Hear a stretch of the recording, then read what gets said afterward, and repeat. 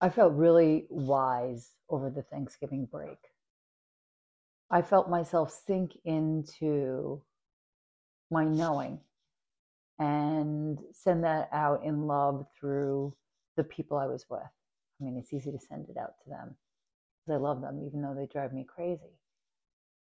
And I brought back that feeling with me of this love that wanted to radiate.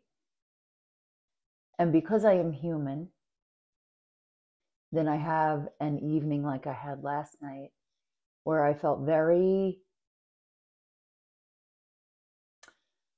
undeserving of my purpose. I felt that I had failed in effort.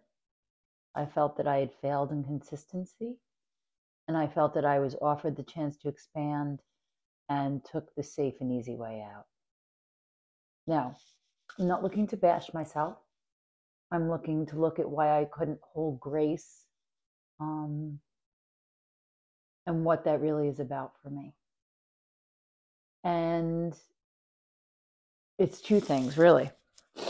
It's about the trust to know there's a difference between expanding your capacity and pushing your limits because you it is a absolute marathon not a sprint and i need to be smart about what i am collecting my energy to use in especially now when it takes a certain amount of energy to keep your shields up which you must have going or else you will be sapped rather quickly from the outside in and then do I trust me?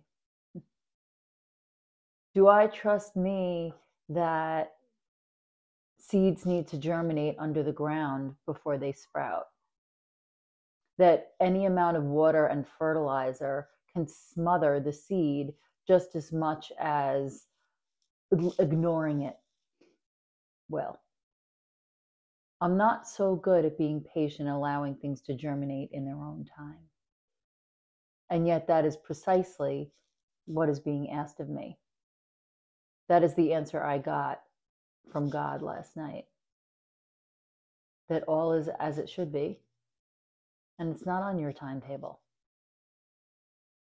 And I squirmed under that blessing.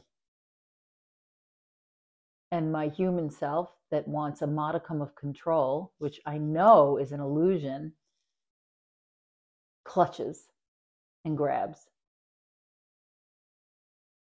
and gets desperate for production when the wiser thing to do is to let it come to you and get in the flow where you're supposed to be anyway and where you can be twice as productive in less time than being strung out you would think that i would have accumulated this knowledge by now and intellectually i can sit here and tell you this all day but I can also tell you the urgency in my body that I felt last night that I was abandoning my dreams and my promises. Was not easy to sit with.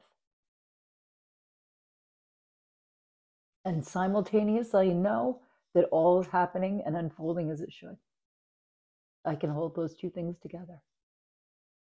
So I ask you, what is coming up for you today? As we near the holidays, there's usually a lot of paradoxes that we need to hold.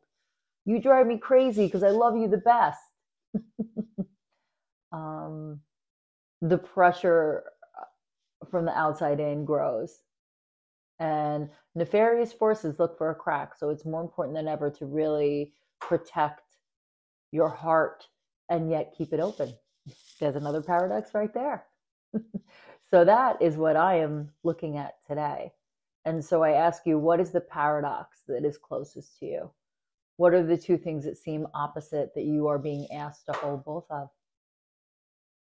That's what's come up for me today. And I will see you tomorrow.